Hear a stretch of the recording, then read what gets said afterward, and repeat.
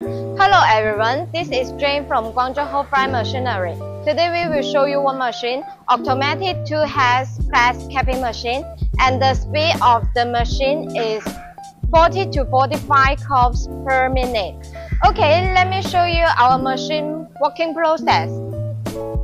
Start, run.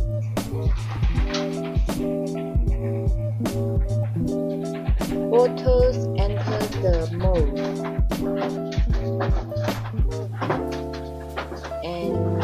And release cap.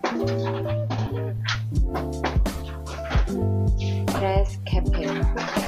And then finish product conveying.